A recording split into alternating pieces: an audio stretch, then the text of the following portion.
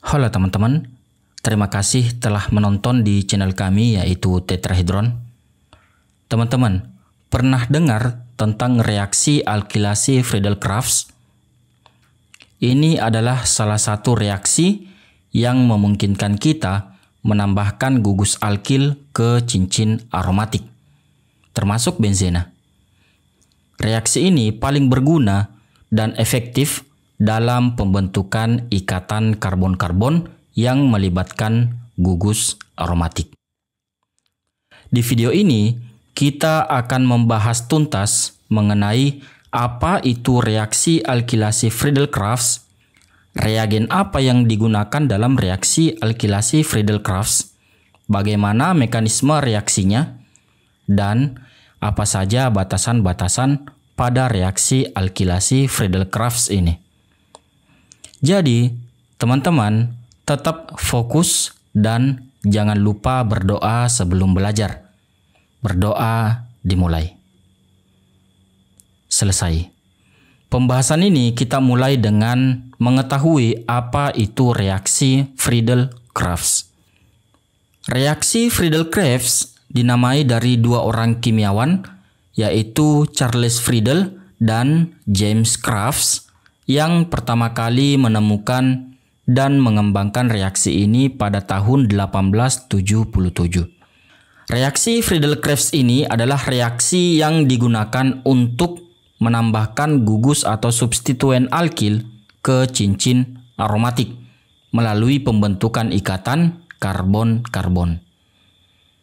Pada dasarnya terdapat dua jenis utama reaksi Friedel-Crafts, yaitu alkilasi dan asilasi. Namun, di video ini kita akan fokus pada reaksi alkilasi Friedel-Crafts-nya saja.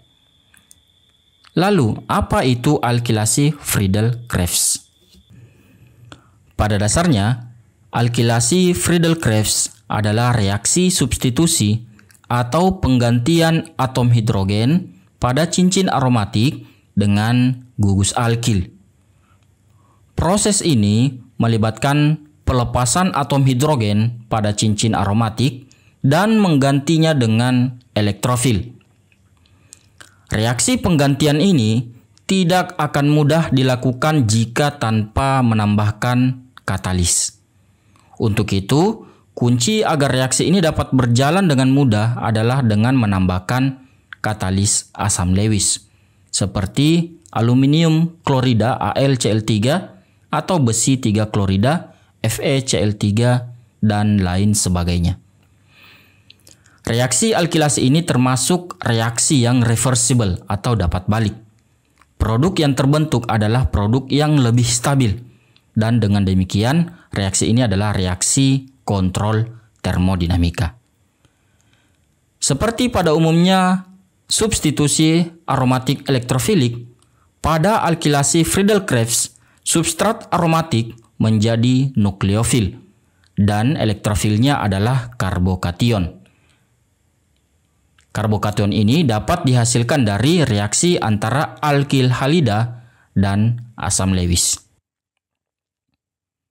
Selain itu juga ada cara lain untuk menghasilkan karbokation, seperti melalui reaksi alkohol dengan asam Lewis BF3 atau dengan protonasi alkohol. Yang lainnya dengan protonasi alkena. Persamaan reaksi keduanya bisa dilihat di sini. Oleh karena reaksi alkilasi Friedel-Crafts identik dengan menggunakan reagen alkil halida dan katalis asam Lewis, maka seterusnya kita membahas mengenai penggunaan reagen ini. Setelah kita mengetahui apa itu reaksi alkilasi Friedel-Crafts dan apa saja reagen yang bisa digunakan dalam reaksi ini, selanjutnya kita pindah ke bagian mekanisme reaksi alkilasi Friedel-Crafts. Kita ambil contoh reaksi benzena dengan alkil halida tersier, yaitu tersier butil klorida, dengan katalis aluminium klorida menghasilkan terbutil benzena. mekanisme reaksi alkilasi Friedel-Crafts melibatkan beberapa tahapan reaksi. Tahap pertama, pembentukan elektrofil kuat, yaitu karbokation. Pada tahap ini, alkil halida, yaitu terbutil klorida, bereaksi dengan katalis asam Lewisnya, yaitu AlCl3, membentuk kompleks aluminium. Dan berakhir menghasilkan karbokation tersier yang merupakan spesi yang bermuatan positif dan bertindak sebagai elektrofil kuat. Jadi, karbokation tersier ini merupakan elektrofil utama. Selain itu juga dihasilkan kompleks AlCl4-. Tahap kedua, serangan elektrofilik membentuk zat antara kompleks sigma. Karbokation yang dihasilkan pada tahap pertama kemudian menyerang cincin benzena yang kaya akan elektron, membentuk zat antara yang disebut dengan kompleks sigma. Kompleks sigma ini memiliki muatan positif yang terdelokalisasi di dalam cincin aromatik seperti ini.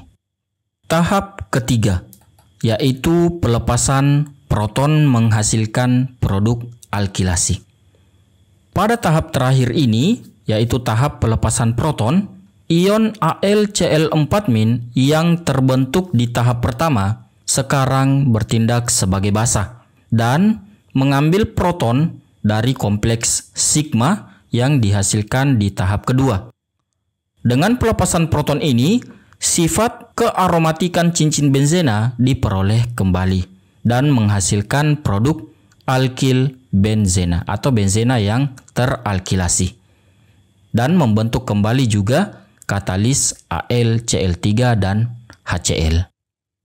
Itulah tadi tiga tahapan mekanisme reaksi alkilasi Friedel-Crafts. Selanjutnya masuk ke bahasan peran katalis asamnya. Seperti yang sudah saya sampaikan bahwa benar benzena dapat bereaksi dengan alkil halida tanpa katalis asam Lewis. Namun reaksinya cenderung lebih lambat, kurang efisien, dan kurang menguntungkan dibandingkan ketika menggunakan katalis asam Lewis. Ada banyak macam katalis asam Lewis yang dapat digunakan dalam reaksi ini dengan kereaktifan yang berbeda-beda. Umumnya, Urutan kereaktifan katalis pada alkilasi dengan alkil halida sebagai reagen adalah sebagai berikut. Aluminium bromida termasuk paling reaktif dan seng 2 klorida menjadi yang paling kurang reaktif. Pemilihan katalis tidak boleh sembarangan. Katalis dipilih berdasarkan reaktivitas senyawa aromatik dan alkil halidanya.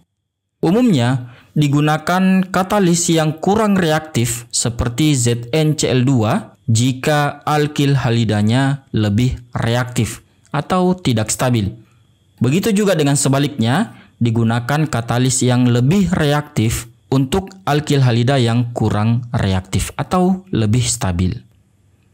Meskipun sangat berguna dalam menambahkan gugus alkil ke cincin aromatik, reaksi alkilasi Friedel-Crafts memiliki beberapa batasan yang perlu teman-teman pahami agar dapat diaplikasikan dengan efektif. Mari kita bahas satu persatu. Pertama, keterbatasan alkilasi aril halida dan halida vinilik. Alkil halida yang digunakan dalam reaksi alkilasi Friedel-Crafts harus mampu membentuk karbokation yang stabil. Jika Alkil halidanya yang digunakan adalah aril halida dan halida vinilik, maka reaksi tidak akan terjadi. Kenapa? Karena karbokation aril dan karbokation vinil yang terbentuk itu tidak stabil. Atom halidanya sulit untuk dilepas. Oleh karena itu, aril halida dan halida vinilik tidak dapat digunakan sebagai reagen pada reaksi alkilasi Friedel-Crafts. Kedua, polialkilasi.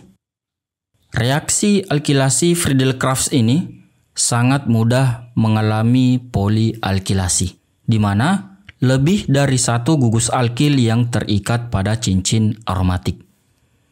Kita tahu bersama bahwa gugus alkil dapat mengaktifasi cincin aromatik, sehingga cincin aromatik menjadi lebih teraktifkan. Akibatnya, alkilasi lebih lanjut sulit untuk dihindari menghasilkan campuran produk polialkilasi. Seperti yang terjadi pada contoh berikut, yaitu reaksi antara benzena dengan kloroetana. Menghasilkan tiga produk, yaitu etilbenzena sebagai produk yang diharapkan dan dua lainnya adalah produk polialkilasi dari etilbenzena. Yang ketiga, penataan ulang karbokation Penataan ulang karbokation dapat terjadi, menghasilkan produk yang strukturnya berbeda dari yang diharapkan, sehingga terbentuk campuran produk.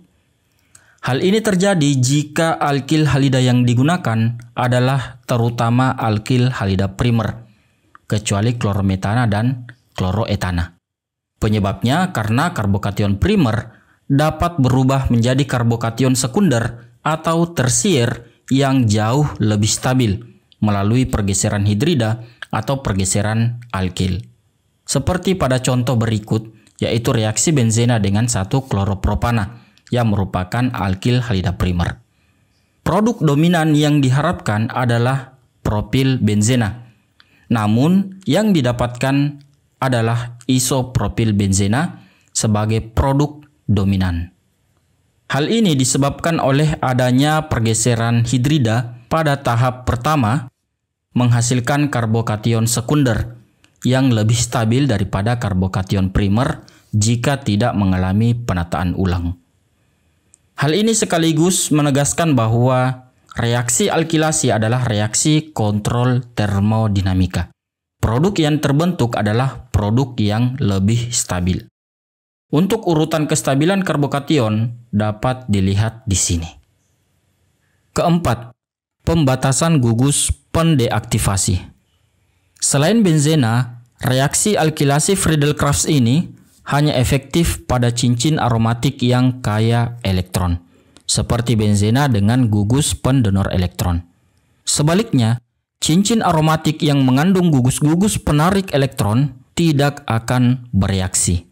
Ini dikarenakan gugus penarik elektron mengurangi rapatan elektron dan mendeaktivasi cincin aromatik. Berikut ini gugus-gugus yang termasuk penarik elektron. Kita ambil salah satu contoh yaitu benzaldehida, benzena dengan gugus aldehid. Tidak bereaksi dengan alkil halida walau dengan katalis. Hal ini dikarenakan rapatan elektron sudah berkurang dan terdeaktivasi. Yang kelima dan yang terakhir yaitu reaktivitas substrat. Selain tidak bereaksi dengan aromatik yang mengandung gugus penarik elektron, juga reaksi alkilasi Friedel-Crafts tidak bekerja dengan baik jika senyawa aromatiknya teraktivasi sangat kuat, yaitu aromatik dengan gugus amino dan hidroksi. Kita ambil salah satu contoh yaitu fenol. Fenol selain dapat bereaksi dengan alkil halidanya, juga dapat bereaksi dengan katalisnya melalui atom oksigennya, menghasilkan penoksi aluminium di klorida yang sedikit larut dalam media reaksi, sehingga reaksinya sangat lambat. Akibatnya apa? Akibatnya katalis tidak aktif dan reaksi tidak akan berjalan dengan baik. Hal ini juga terjadi pada gugus amino yang dapat terprotonasi seperti ini. Secara keseluruhan, dengan adanya batasan-batasan ini membuat alkilasi Friedel-Crafts kurang praktis digunakan dibandingkan dengan asilasi Friedel-Crafts yang selanjutnya akan kita bahas juga. Dengan memahami batasan-batasan ini, kita dapat merancang reaksi yang lebih efektif dan menghindari masalah yang tidak diinginkan. Selanjutnya kita pindah ke aplikasi reaksi alkilasi Friedel-Crafts. Kenapa reaksi alkilasi Friedel-Crafts ini penting untuk kita bahas? Karena reaksi alkilasi Friedel-Crafts memiliki berbagai aplikasi penting dalam kimia organik, baik dalam penelitian maupun industri. Contoh pada artikel berikut ini, reaksi alkilasi Friedel-Crafts sering digunakan sebagai salah satu langkah kunci dalam sintesis produk alam dan molekul yang strukturnya jauh lebih kompleks. Selebihnya teman-teman dapat membacanya melalui link yang kami sematkan pada daftar referensi. Berikut ini sumber referensi yang kami gunakan ketika membangun materi ini. Jadi itu tadi penjelasan lengkap tentang reaksi alkilasi Friedel-Crafts senyawa aromatik. Semoga video ini dapat membantu teman-teman memahami reaksi ini. Jika teman-teman ingin tahu lebih banyak tentang reaksi kimia organik lainnya, silakan cek video kami yang lain. Jangan lupa bantu channel kami lebih berkembang lagi dengan berikan like dan subscribe-nya.